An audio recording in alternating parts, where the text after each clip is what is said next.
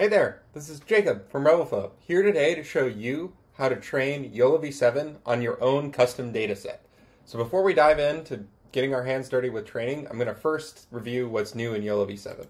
So you may have seen other YOLO networks like YOLO v5 um, that are the iterations of the YOLO network which is used to detect objects and images.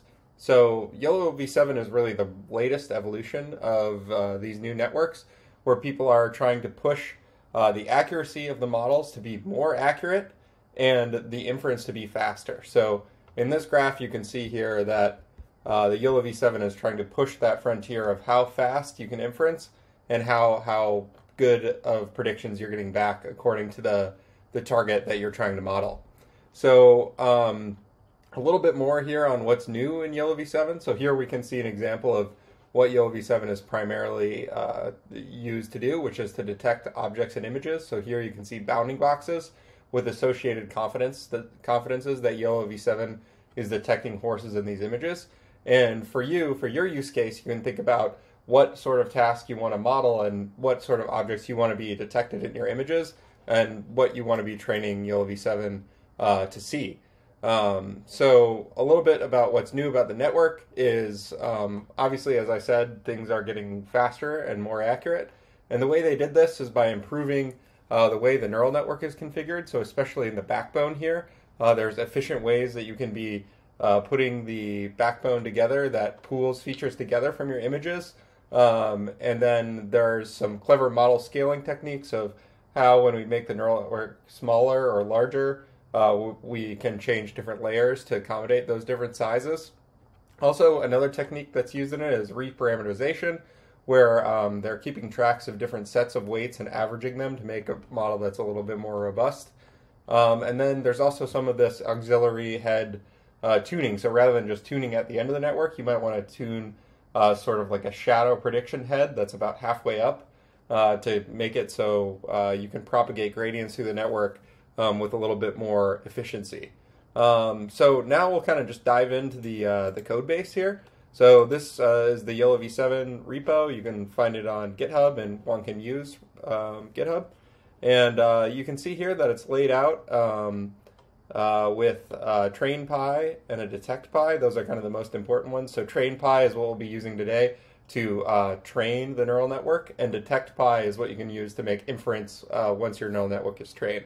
So, importantly, here you're here today to learn how to train a custom YOLO v7 uh, object detection model. So, the most important thing to train a custom object detection model is you need to gather a data set of representative images. So, here I'll show um, a little bit of example of how um, you can find data on Roboflow and how you can construct your own. So, um, if you're just exploring, uh, you can go here to um, Roboflow Universe um, and you can search for data sets. For example, here I was kind of thinking what it might be like to model aerial sheep. So you could look here and see what the community has done and see if there's any example data sets that you can pull from. Um, and then, of course, if you have your own uh, industrial example and uh, you need to bring your own data. So you need to be, bring your own data to construct a data set that is particular to the thing that you're trying to train. Um, so this is a very important concept, especially for production apps that are going to be using uh, YOLO v7 in, in production. So here's an example of a hard hat data set that you can have in Roboflow. And um, most importantly, here you'll have your images. So in your data set, you'll upload images that you can upload here. And then with each image, you can draw bounding boxes to, to have the thing that you want to detect. So here, maybe we want to detect if people are wearing a helmet or not. Um, and so we can look at these annotations and you'll need to be drawing these boxes to be able to train YOLO v7. So the way I like to think about the annotation process is like you're almost kind of actually training the network with each new box you draw. And the more data you have and the more robust uh, of a custom data set you've assembled, the better your performance is going to be in pretty much all cases. Um, so here's an example of maybe we missed something. Maybe we wanted to annotate a tree or something here uh, you can do that here and go and pass through your images um, and annotate them there. Um, after you're done annotating, you uh, generate versions. So this is where you can choose some standardization processes around the images that you make, and you can also make more of them in Roboflow from the initial images that you annotated. This this is good uh, to get a bunch of new image variation just from the base annotations that you made. Um, and then once you're done with this, uh, you can export your data. So we export into all kinds of different formats here. Notably, the YOLO V7 PyTorch one is going to be of particular interest here, and that's going to give you um, a link to where the dataset zip is, as well as some Python code uh, that you can use to download it. So uh, today I'm going to be using the cash counter uh, uh, dataset on Universe. So here you can see this dataset's assembled to do different, um, you know, uh, forms of cash, so cash and coins. Um, and so if we wanted to get this data set, we could go here, and then we'd go here and we'd go download, and then YOLO V7 PyTorch, show download code. Once we show the download code, here we can see uh, this, this Python snippet that we would bring over into the notebook. So now I'll go ahead and uh, dive into the Colab training notebook. So if you're not familiar with Google Colab, um, it is essentially a, a, place where you can get a free GPU from uh, the courtesy of Google. Um, and you can prototype things up here and you can share it easily. So I'll post the link to this notebook uh, here below. So if you're following along at home, you can have the code uh, up on one side and the video up on another and, and do this with your own data set. So the first thing this, uh, this code does is to clone the repo, and then we install the requirements. So this uh, we'll s- install a bunch of things like PyTorch, um, which is uh, things that are necessary for the neural network to be running on the Colab machine, and um, we'll set up the whole environment that way. So you can see here that I have already run these cells, and I'll just kind of uh, buzz through them one by one. After that, um, we can download uh, or install the Roboflow package to download the dataset.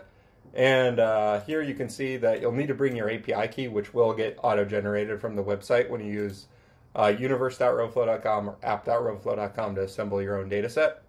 And the dataset gets downloaded here, and you can see that all of our cash counter images and such have come down. So in here, you can see the cash counter folder, and here we have the train, the valid, and the test. So during training, we'll be iterating through these train images here and we'll be uh, seeing kind of how well we're doing on validation images. Um, so the validation images aren't seen by the network during training, and we'll just use them and their annotations um, to kind of get a sense of how well we're doing we're training. Uh, the next step that we do here is we download the YOLO v7 pre-trained weights. So this is the YOLO v7 uh, .pt file that is already pre-trained on the COCO dataset, which is a large about 200,000 image dataset that's often used to train object detection models and evaluate them. And so the YOLO v7 authors have published those weights for us, um, and we'll we'll pull those down so we can start from a basis of uh, some knowledge of modeling something rather than just kind of randomly initialized weights. Now here, this is the actual training cell. So here you do uh, train.py, so you invoke that with Python command, and you need to do that within the YOLO v7 uh, folder. And the important things about this command is there's um, a few things that you may want to set. So uh, if you really want to dive into the YAML, you can look and you can actually be uh, trying to change the network architecture a little bit. For the most part, I recommend recommend just taking that as given. Uh, and then you can choose your batch size. So here I chose 16.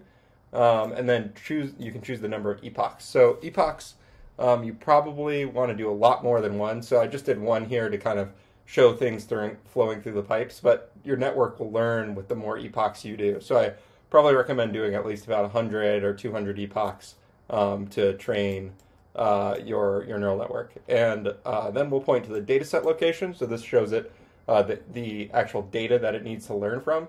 And then these are the weights that we just downloaded to initialize, you know, from from uh, another point. Um, there's uh, more parameters. Uh, I'll link this blog below, which has a lot of what I'm talking about um, in writing. Um, and there's a lot more options that you have here. Um, and there are some things that you can get into and experiment with in tuning some of the hyperparameters like the learning rate um, and some of these other factors that allow you to choose different things about the way that the YOLO v7 network is trained. Of course, a lot of these things that come out of the box are going to be um, what's you know typically been researched or uh, found by the community to be working best. Um, but that said, sometimes you can find uh, slightly better training results um, by tweaking some of these things. Um, so could be interesting to, to dive in there and, and, and see what you can find. Um, So once training kicks off, we can see that the model uh, gets initialized here. So we can see the convolutional layers getting formed, and then we can see um, down here how we formed kind of like the YOLO detection layer. Um, and so our images will be passing through this network and then making predictions out of this detection layer. And once training uh, kicks off, you'll see that your data gets loaded in here um, into the data loader, so it's prepped to be iterated through.